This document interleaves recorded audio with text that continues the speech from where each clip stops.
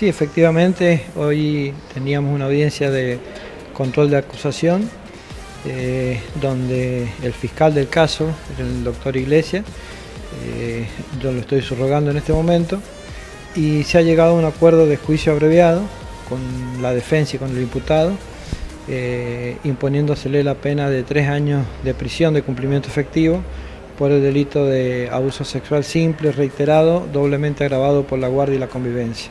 Justamente qué detalle nos puede contar sobre este suceso.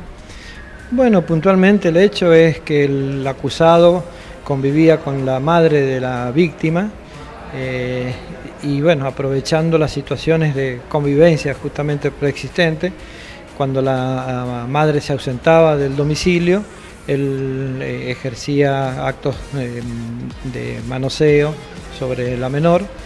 en varias oportunidades han ocurrido estos hechos y se agrava justamente por la convivencia preexistente y al quedar el, acusado eh, con la guarda de, la menor en el domicilio donde convivían.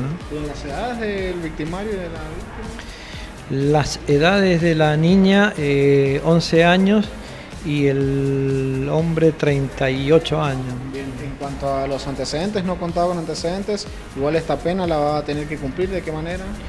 Es cumplimiento efectivo, ya tenía otras condenas anteriores, así que por eso es de cumplimiento efectivo.